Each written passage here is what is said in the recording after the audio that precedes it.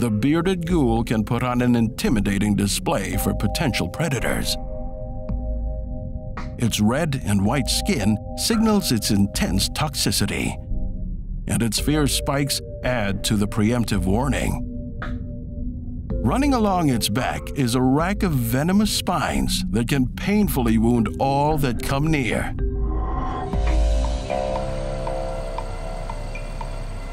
Meet the giant red-headed centipede.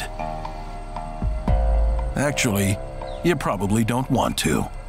It's one of the nastiest invertebrates in the American Southwest. And it's got legs to die for. That's terrible news for this unsuspecting cricket. In a battle for survival, the cricket doesn't stand a chance. The giant red-headed centipede is actually only 7 inches long, but it has an enormous presence. It's got a very tough shell and 42 sharp and sticky legs. And most importantly, it has venom that delivers a knockout punch, as the cricket is about to discover. Oblivious it lingers. And the centipede waits and watches. Or it appears to be watching.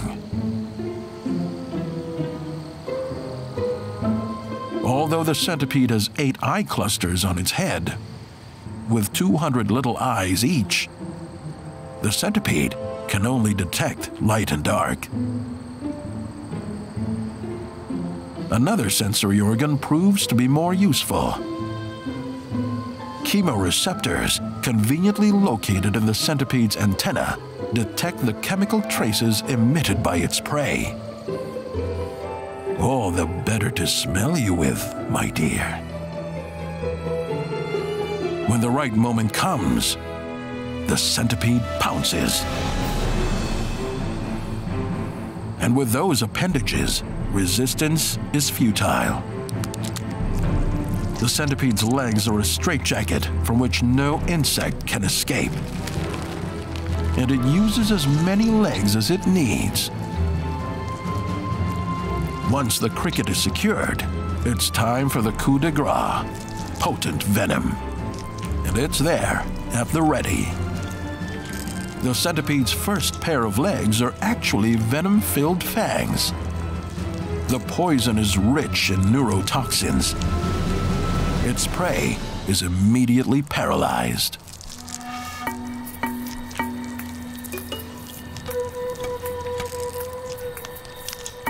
The centipede's powerful jaws easily break through the cricket shell.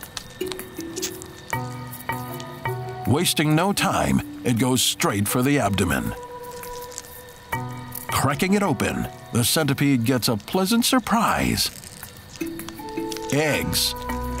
Unborn crickets. Yum. The centipede uses its palps like chopsticks to feast on the protein-rich eggs. It's an easy meal. With the weapons it possesses, most meals come easily to the giant centipede even bigger and stronger prey. Because of its venom, it can paralyze and consume much larger animals, such as lizards, rodents, and frogs. So the leggy creature has no problem being aggressive when it's hungry. Once the centipede bites, a combination of intense pain and paralysis immobilizes its prey. In their natural habitat, lionfish evade predators by disappearing into the background. Their stripes and feathery fins look like plants and coral. But don't get too close. Those fins will get you. It's the mid 1980s in Florida, USA, the first sighting of a lionfish in the Atlantic takes place and raises a few eyebrows. Legend has it that Florida pet owners are to blame after dumping lionfish from their home aquariums into the Atlantic Ocean.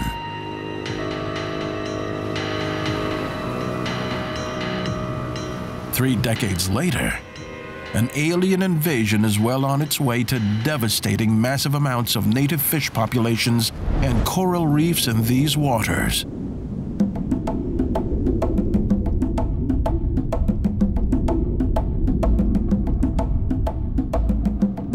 First glance, the crystal blue waters of the tropical Atlantic Ocean seem vibrant, healthy, and pristine. But beneath the surface, all is not well. There is a stranger here, an impostor, hiding in plain sight.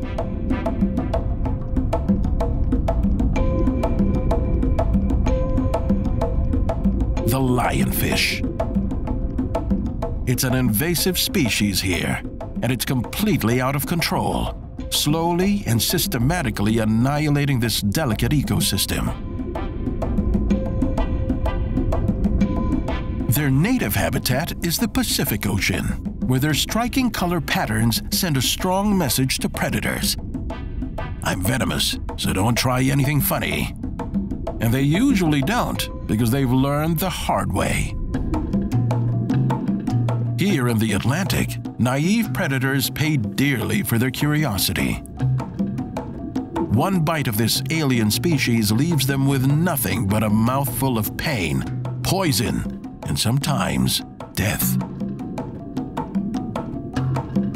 Concealed in its beautiful fins are 18 venomous spines. If a lionfish feels threatened, out they come.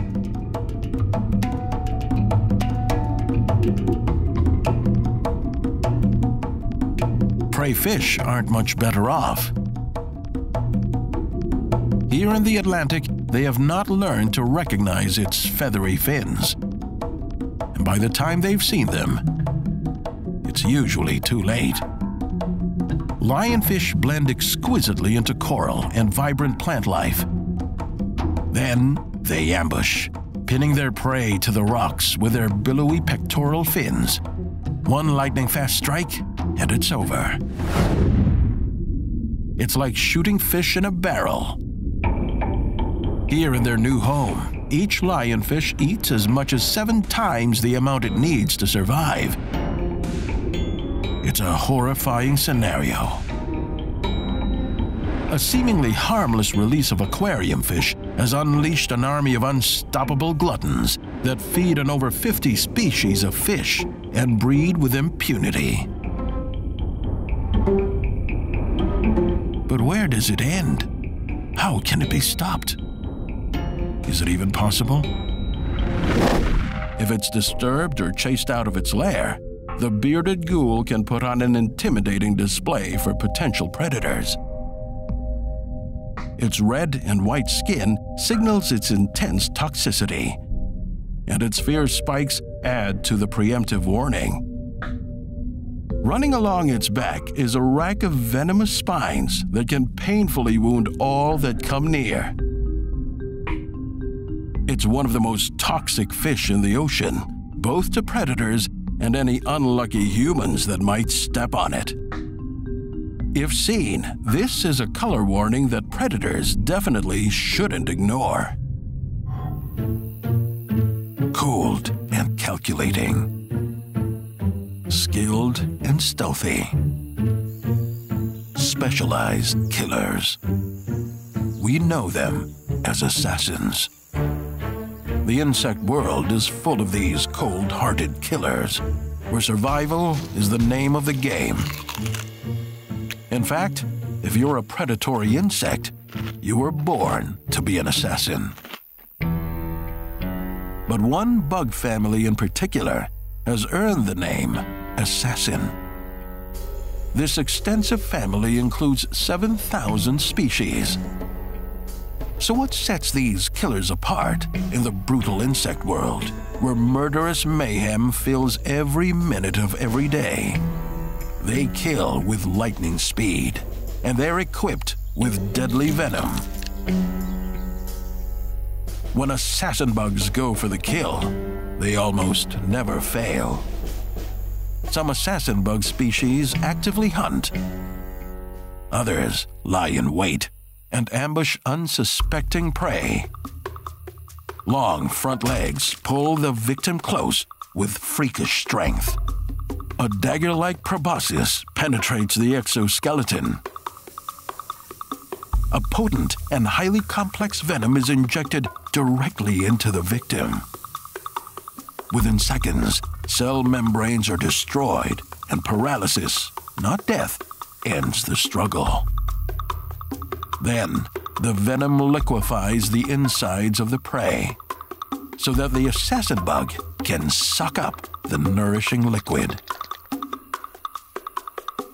Males and females can find their prey in the forests, scrublands, and grasslands in warmer climates on almost any continent. But they're too worldly to settle for those out of the way places.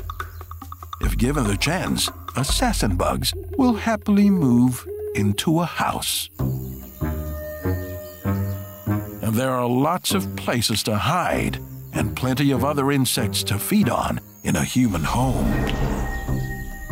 During the day, they keep a low profile. But in the dead of night, they emerge from their tiny catacombs and begin the hunt for a meal. Not another insect, not a pet, a human at its most vulnerable, asleep. Human blood straight from the source. These assassin bugs are not the first or the last insect to lay claim to human flesh. Some assassin bugs, the conenose bugs, are known for biting humans on the lips like their cousin, the bedbug, these species are attracted to the carbon dioxide humans exhale. A ghoulish practice, and the reason these assassins are known as kissing bugs. But a venomous kiss can bring with it something far more insidious. In the Americas, it can bring Chagas, a parasitic disease. The symptoms are usually mild and often undetectable but other times, Chagas can cause grave damage to major organs and can lead to death. An unnerving thought. Seems like we'd be better off without them. Strangely enough, it's not that simple. Our relationship with these notorious bugs is complicated. Just like the cold blooded killers they're named after, these bugs can be commissioned to do our bidding. They're excellent predators, and their ferocious hunting prowess is of great benefit to farmers. They exterminate thousands of pests, protecting precious crops in the process. This is a novel approach to deception, where animals stand out rather than blend in. It's called aposematic coloration also known as warning coloration. Using bright colors as a visual statement, their goal is to stand out like a flashing red light. It's a message to potential predators that they are poisonous, venomous, foul tasting, or at the very least, unpalatable. And the strategy is highly effective. Some of the most common aposematic vertebrates are poison dart tree frogs. There are more than 300 species living in the lush tropical rainforests of Central and South America. These brightly colored amphibians, no bigger than the size of your middle finger, come in a range of vivid, high contrast hues. Generally speaking, the following rule applies. The brighter the color, the more toxic the frog. If predators ingest this poison, they can expect the worst. Seizures, numbness, excruciating pain, paralysis, and death. Predators that attack a brightly colored frog and don't actually die quickly learn to avoid similar looking ones. Unlike its dart frog cousin, the red-eye tree frog isn't poisonous. But it has a strategy to fool predators. The frog is normally camouflaged in the lush green canopy of the Central American rainforest. But it's hiding something. If approached, it will suddenly open its huge red eyes, hoping to startle birds or snakes and make them second guess their choice of prey. If this doesn't work and the attack continues, the tree frog assaults its enemy senses with a color bomb. The frog exposes the full extent of its body, revealing blue sides and orange feet, which are otherwise hidden. The false color warning might confuse its predator, just long enough to make a getaway. In general, animals deploying warning coloration use colors or patterns that emphasize rather than disrupt their outline. They want to be seen. They want to stand out. Emperor scorpions are a scary sight, creeping and crawling with pincers and stinging tails. Their black color blends with their burrows, allowing them to wait and ambush their prey. But at night, it's a different story. Under the UV light of the moon, they glow. Now, why would they do that? In the wild, they live in the humid rainforests and dry savannas of West Africa and have a most terrifying reputation.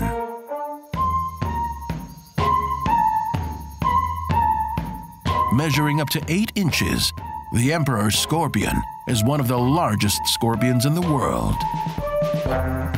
As if its large, crushing pincers weren't intimidating enough. The scorpion can also release deadly venom through a needle sharp stinger located at the business end of its long, curly tail. Truly the stuff of nightmares. There are over 1,700 species of scorpions in the world, but only 25 are capable of killing people. Good news is that the Emperor's venom is one that generally isn't fatal, though it can be extremely painful.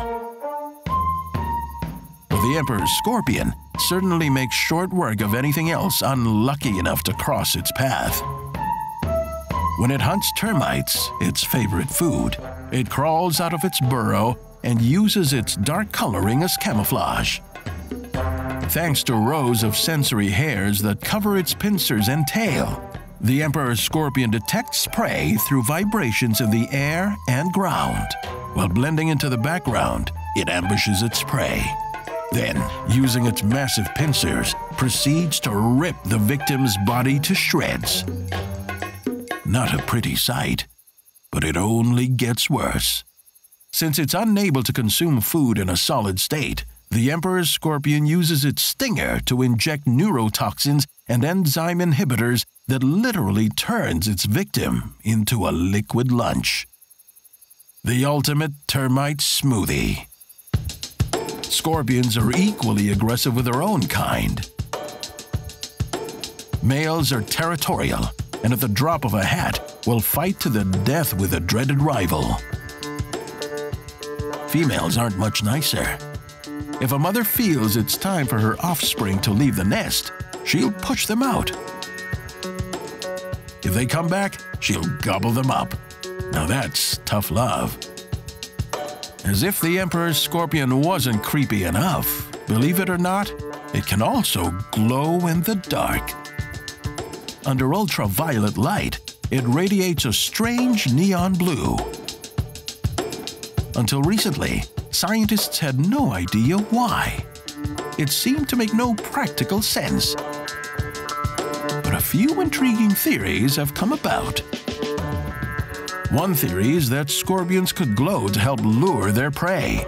But research suggests that insects actually avoid fluorescence, so there would be no upside for a scorpion trying to snag a meal. Some say the glow might actually help scorpions hide more successfully from predators like birds, bats, and some mammals. As nocturnal creatures, maybe scorpions have developed a way to feel or see UV rays shining down on them from the moon and the stars. Maybe a scorpion's body is like a giant photon detector, a giant eye that can read the levels of UV light emanating from the moon. If that's true, then it would certainly be helpful in avoiding being exposed to enemies in full moonlight. The Emperor Scorpion comes from an ancient lineage that has survived on Earth for millions of years. With its highly developed pincers and stinger, it has become a formidable warrior. As one of the most feared creatures in the animal kingdom, it's also shrouded in deep mystery, a mystery on which future researchers might one day shed some light.